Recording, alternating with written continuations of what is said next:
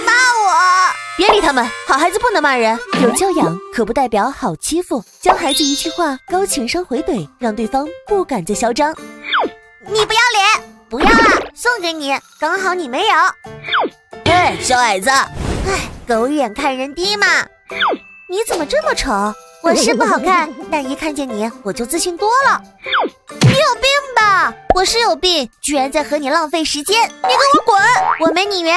要不你先示范一下？你真笨，以你的智商，恐怕发现不了吧？你真是废物，废物可回收，但你不行。告诉孩子，说完这些就转身离开，没必要和这种人浪费时间。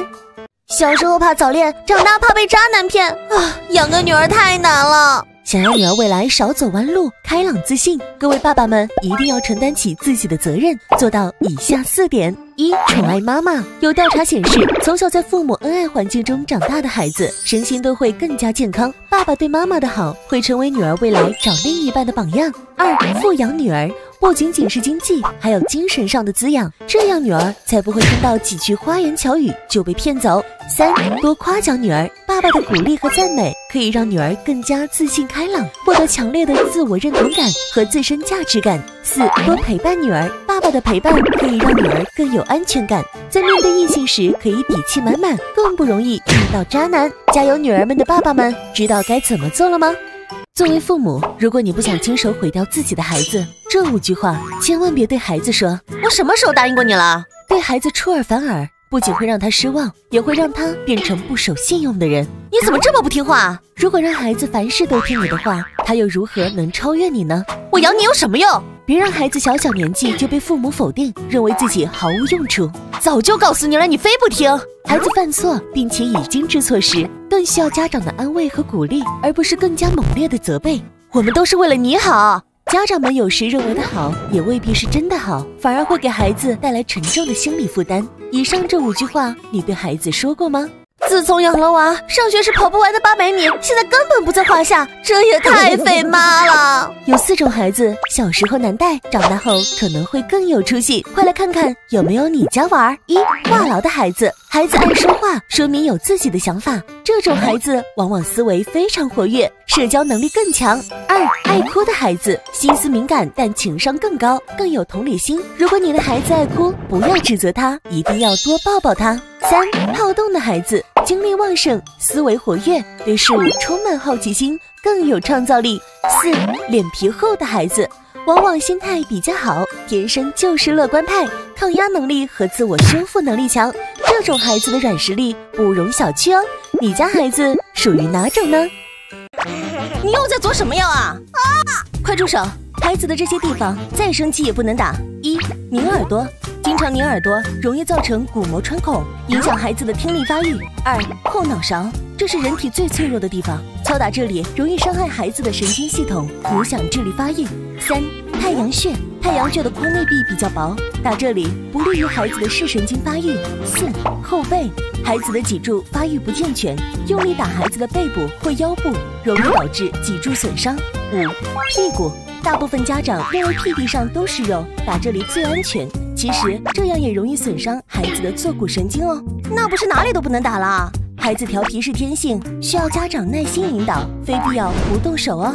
生娃前窈窕淑女，曲线动人；生娃断奶后，啊。断奶后，由于雌性激素下降和皮肤韧带松弛，胸部就像泄了气的气球，失去弹性。想要恢复挺拔身姿，记住下面两个动作，躺着也能拥有完美胸器：一、仰卧推胸，平躺在地面，手臂平行于地面，双手用力向上方推举；二、仰卧夹胸，手心相对，双手从两侧向中间靠拢。每个动作三组，每组二十次，坚持一百天，恢复少女身材，不要偷懒哦。收藏等于做了，看了等于瘦了，别再靠意念减肥啦！试试明星推荐的懒人减肥法，亲妈亲测，躺着就能瘦。动作一：瘦肚子，屈膝躺平，上身保持不动，膝盖向左右两侧摆动，左右各五十下。动作二：瘦小腿，同样屈膝躺平，双脚稍稍分开，脚尖抬起。放下，一分钟一组，做两组。动作三：瘦腿提臀，趴在床上，大腿和腹部紧贴床面，用脚后跟尽力去找屁股，一分钟一组。动作四：改善驼背，拿一个枕头垫在腰后，平躺下来就 OK 啦。这个动作可以拉伸全身肌肉，轻松改善不良体态。嘿嘿，我来打卡了。怪不得闹闹最近成绩下滑，原来是妈，你在干嘛？不想让孩子对你越来越疏远，家长就一定要尊重他的隐私。下面这些事情千万不要做：一、孩子的日记不能看，更不能偷翻孩子的书包和房间；二、孩子打电话别偷听，给小朋友们留一点属于自己的空间；三、玩具送人前要征得孩子同意，更不能逼迫他分享。四进孩子房间要敲门，孩子也有自己的小秘密。作为家长，适度放手，给孩子一定的空间，获得尊重的孩子反而会更愿意主动分享秘密哦。你知道经常熬夜的后果吗？嗨，你不就是想说癌症、猝死、心梗吗？这概率也就那么一丢丢。有一些伤害每天都在发生，可能你根本不知道。一、记忆力衰退，睡眠能够将短期记忆储存到大脑皮层，长期保存。熬夜工作学习 效果可能更差。二、大脑废物堆积，长期缺少睡眠，废物越积越多，会导致思路不清晰、反应迟钝，还会大大增加老年痴呆的风险。三、影响激素分泌。研究显示，经常熬夜会使女性经期不规律比例提高百分之三十三，男性睾酮比例明显下降，相当于生殖力老了十五岁。可是只有熬夜的时光才属于自己啊！如果一定要熬夜，建议先把第一个睡眠周期睡完，再起来熬，伤害会减小哦。沟通全靠吼，输出全靠手。人家的女儿是乖巧的小兔子，我儿子是磨人的小兔崽子。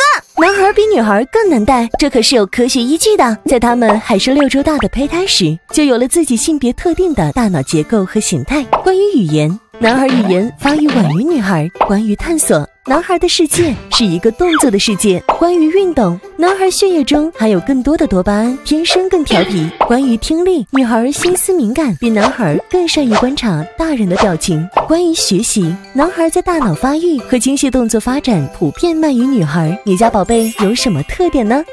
你知道吗？普通人一生要吃掉超过一吨的水果，可是经常吃水果的你，真的会挑水果吗？挑新鲜好看的就 OK 了。有些水果完美的外表是出自水果商贩的杰作。想要吃到新鲜又好吃的水果，这份挑水果攻略请收好：橙子，挑母的，不挑公的；苹果，挑有红黄条纹的，不挑芝麻点的；火龙果，挑胖的，不挑瘦的；西瓜。